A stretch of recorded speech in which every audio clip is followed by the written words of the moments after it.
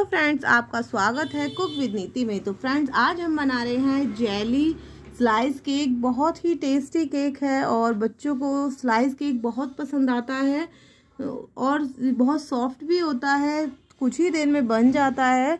तो क्यों ना हम इसको ट्राई करें इस चिल्ड्रंस डे पर। तो चलिए ट्राई कर लेते हैं। तो सबसे पहले हम तैयारी कर लेते हैं। तो यहाँ पे हमने लिया है केक टीन जिसको मैंने ऑलरेडी ऑयल से ग्रीस कर लिया है और अब हम डाल रहे हैं इसमें आ, मैदा जिसको हम चारों तरफ़ इसकी डस्ट कर देंगे इस तरीके से। चाहे तो आप बटर पेपर भी डाल सकते हैं लेकिन बटर पेपर हर किसी के पास नहीं होता है। तो इस लिए हम ये एक्स्ट्रा जो वो है मैदा वो निकाल देंगे, ये हम साइड रख देते हैं। अब लेते हैं हम यहाँ पे। आप टूटी फ्रूटी भी ले सकते हैं, टूटी फ्रूटी केक बनाने के लिए। या फिर मैं यहाँ पर ले रही हूँ फ्रूट जेली। तो फ्रूट जेली से भी बहुत ही अच्छा और टेस्टी केक बनता है। तो ये मैंने लगभग पौना कप ले लिया है और इसमें मैं डाल रही हूँ एक चम्मच मैदा और उसको मैं अच्छे से मिक्स करूँगी। तो मैंने इसमें डाल दिया है मैदा और मिक्स कर दिया, अलग कर देते हैं, लेते हैं एक बाउल। और इसमें डाल लेते हैं हम हाफ़ कप फ़ूड ऑयल। ये हमने लिया है रिफाइंड ऑयल। आप ऑलिव ऑयल या कुछ भी जो आपको फ़ूड ऑयल जो भी अच्छा लगता है, रिफाइंड बटर वो आप ले सकते हैं तो मैंने ले लिया है। थ्री फोर्थ कप लेंगे हम इसमें शुगर पाउडर, यानी चीनी को हम उसको पीस लेंगे। और ये हम पौना कप ले लेंगे अच्छे से मिक्स कर लेते हैं। अगर आप ओवन में बना रहे हैं तो उसको प्री हीट कर लेंगे आ, एक मिनट के लिए और 180 डिग्री पर उसको सेट कर लेते हैं। जिसे हमें 40 मिनट के लिए उसमें आ, ये रखना होगा और अगर आप आ, इसको कढ़ाई में या किसी बर्तन में बना रहे हैं तो आप उसमें भी इसको मतलब उसको भी गर्म कर लेंगे। तो ये अच्छे से मिक्स कर दिया अब डाल रहे हैं हम आधा कप दूध लिया है नॉर्मल टेम्परेचर पे, वो डालेंगे इसके अंदर।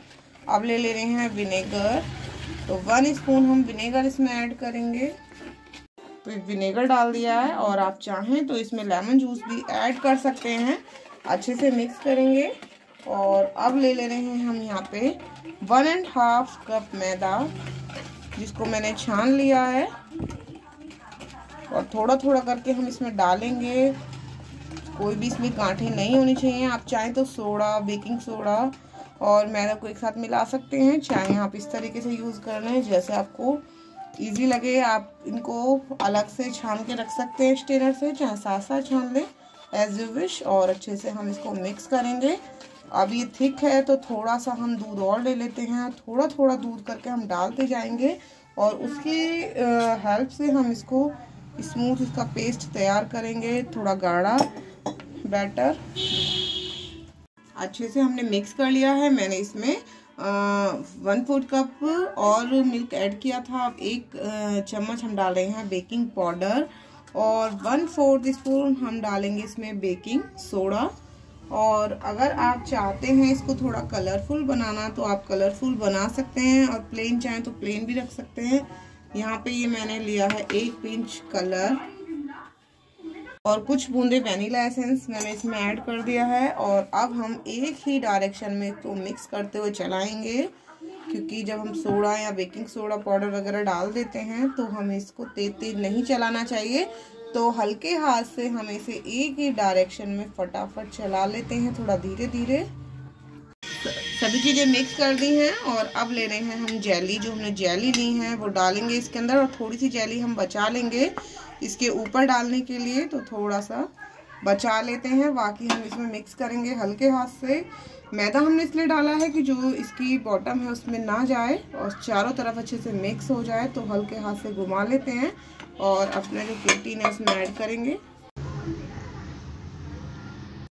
टैप करने के बाद इसके ऊपर डाल दिया है थोड़ा सा जेली और थोड़ा सा मेरा बैटर बच गया था तो वो मैंने डाल दिया एक मग में। और अब हम इसको सेट करके ओवन में ऐड कर देते हैं और आप चाहें तो इसको कढ़ाइयाँ पैन मतलब जो बर्तन है उसमें भी प्रीहीट करके इसको रख सकते हैं। आप पहले ट्वेंटी मिनट्स रखिए, उसके बाद आप चेक करिए और फिर आप टाइमिंग आगे बढ़ा सकते हैं। एक स्टिक डाल के देख लें, अगर आप स्टिक जो क्लीन है तो आपका केक बन गया है। अदरवाइज़ आप थोड़ा सा देर और रख दें, क्योंकि हर गैस का या ओवन का टाइमिंग स्पीड थोड़ी चेंज होती है। तो अपने ओवन के हिसाब से रखें। अभी मैं इसमें 20 मिनट्स रख रही हूँ, फिर हम चेक करेंगे देन आगे इसका टाइम बढ़ा लेंगे। तो रख लेते हैं।